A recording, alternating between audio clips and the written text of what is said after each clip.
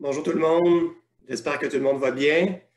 Alors, bienvenue dans, cette séance sur l'agroforesterie qui, je pense, est la, première séance d'agroforesterie euh, officielle au colloque du CEF. Donc, euh, c'est signe que l'agroforesterie est en, est en développement, en croissance. C'est une bonne nouvelle. Mon nom est euh, David Rivet, donc je suis professeur à l'Université du Québec en Outaouais et chercheur à l'ISFAR, à l'Institut des sciences de la forêt tempérée. Donc, euh, pour cette première conférence, nous avons le bonheur d'accueillir euh, Ang Xiong Song, qui est chercheur postdoctoral à l'Université du Québec à Montréal sous la direction de Chang Hui Peng. Alors, euh, Xiong, je, je, vous laisse la parole. Okay. Uh, sorry that uh, I cannot uh, speak very much French, so I just uh, go with English. hopefully you guys can understand. And uh, it's my real pleasure to be here for today to share my work, to uh, exchange some ideas with you guys. And I'm from UQAM, and hopefully we can, you know, enjoy this. Okay, so I'm going to present this with following sections. So first, nitrous oxide, or N2O, is one of the most important greenhouse gases with the strongest global warming potential which is about uh, 300 times larger than that of carbon dioxide. A growing atmospheric concentration of N2O can lead to ozone depletion, uh, jeopardizing both environment and human health. Generally, N2O is produced as an intermediate product uh, from nitrification and denitrification processes driven by uh, soil microbes. So observations have reported that atmospheric concentration of nitrous oxide has rapidly increased by 20% since the Industrial Revolution. The development of agriculture is probably responsible for, that, for such a growth, because agricultural soil has been identified as the strongest N2O hotspot as a result of a variety of management practices. And IPCC have proposed that agriculture might account for more than 60% of the total anthropogenic nitrous oxide emission. However, to date, uh, the process and the spatial temporal variation of the N2O emission have not been fully understood, and it's difficult to be monitored across large area uh, with current technology, especially for the agriculture cropland ecosystems. So therefore, modeling is essential to, to be used uh, to understand the, and quantify the N2O emission in different scales. Process-based biogeochemical model is widespread due to the ability to describe the microbial-related nitrous oxide emission in a more detailed, more realistic way, such as very famous uh, denitrification and decomposition model, which is called DNDC, and other models shown in the table.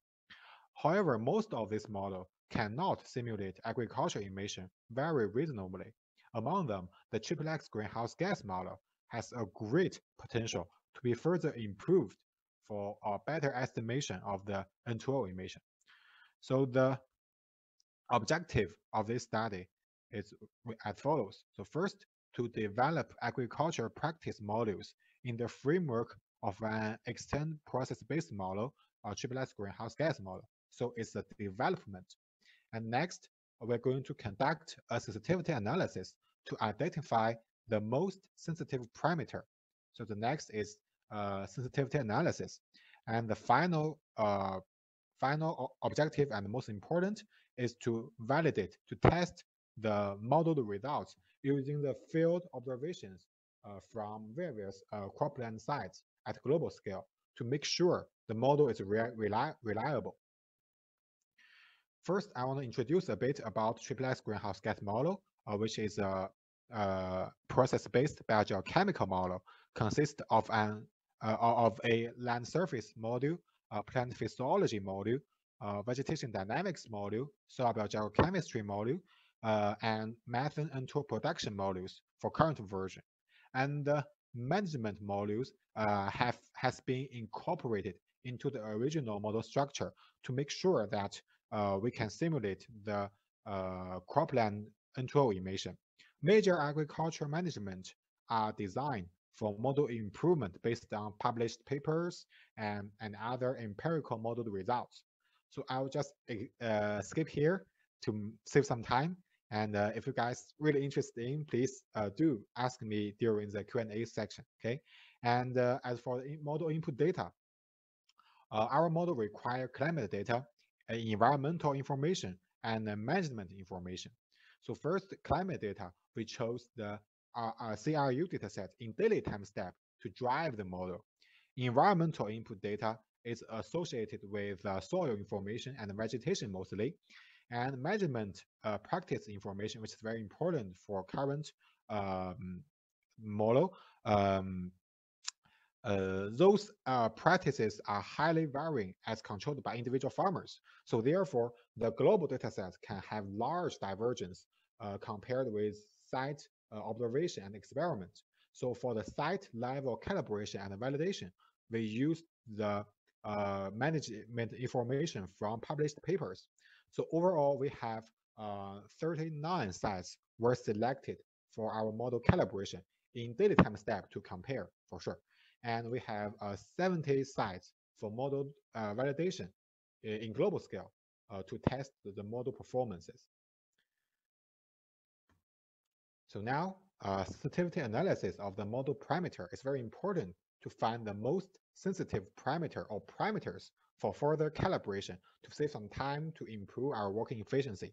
So we found that uh, um, the coefficient of nitrate consumption rate for denitrification, which is the first step of the denitrification process, had the highest sensitivity level for the updated version of the TRIPLEX greenhouse gas model. So because the uh, nitrate consumption rate for denitrification is very difficult to be uh, to be measured directly in the soil during the experiment. So the limited field information could affect the potential uncertainties of the parameter, which further, uh, you know, um, uh, drive in the uncertainties for our model performance. And here, uh, because of time limit, I will just brief some of the site level calibration results. And I will also introduce the advantages and disadvantages of our model.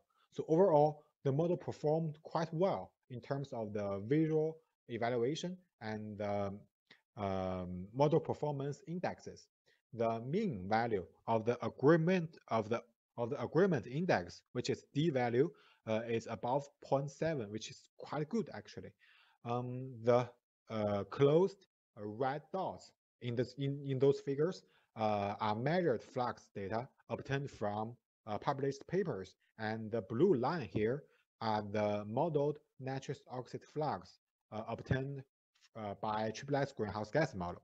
So first, the dominant characteristic of the cropland N2O emission is the peaks associated with fertilization events, most of which were well simulated by our model and uh, contribute to the overall uh, reasonable evaluation index.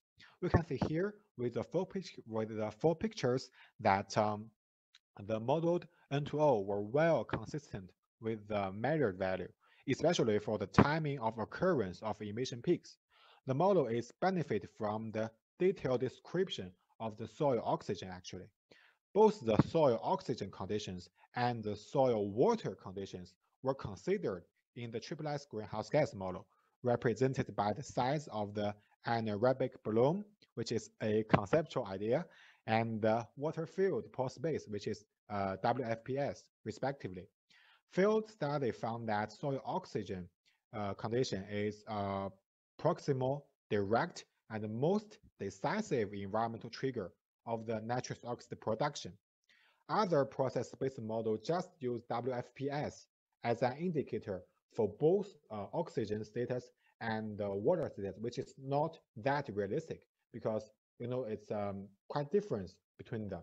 Uh, so that um, that kind of uh, measurement could uh, probably result in large uncertainties for their assignment. And in comparison, our model promote this, improve this, and have a better model performance. next, our sorry, Next, uh, our calibration includes some experiments uh, which just use manure application only and showed a reasonable model performance comparing with previous other studies. A detailed description of the manure contributed to uh, this improved performance because manure is a predominant soil organic carbon SOC source for cropland, which is not considered by other empirical models and several of the process-based models like DayCent or Visit. They just consider the manure as the same as a chemical fertilizer, which is just a nitrogen uh, source, while they just ignored uh, the organic properties and the carbon properties of the, the manure, which could lead to some uh, uncertainties and uh, you know difference uh, between the model results and their uh, observation. Well, on the other hand, with this study, the manure sourced carbon was recalculated using the manure nitrogen and CN ratio of different uh, soil organic carbon pools uh, in our model, uh, which significantly enhanced the simulation of the SOC. And SOC produces DOC, which is the very important for soil microbial growth and uh, uh, can serve as a um, substrate for nitrification and denitrification. So in general, the manure input effect is well simulated by our model. Thanks, Jan. Yeah. Sorry. There is one minute remaining for your presentation. Okay. So I don't know if you want to conclude or. Yeah, I'm just uh, show some uh, you know uh, limitations of our model. So it's just a basic view, and I will just one minute. Thank you. One minute. Uh, so that we have some limitations here, as shown uh, uh, with these four pictures, uh, which uh, include under underestimated emission peaks and some miscapture of the emission peaks uh, and underestimated background emission. And those, you know, limitations can be further improved with further studies. And actually, we have done make some progress there. And I want to make some conclusion. yeah, uh, our validation results is quite good. And uh, with the seven sites validation, we have a very close um, results with the observed data and the simulated data, uh, which is very close to the one-to-one -one line. So uh, in general, our model can simulate the impacts of both climate and agricultural practices on the N2O emission across global cropland ecosystems. So that's our most important uh, conclusion and maybe a take-home message. So with the in the future, maybe we can use our model for uh, large-scale, uh, you know, uh, estimations to to provide some, you know, scientific uh, basis for policy making, you know, something like that.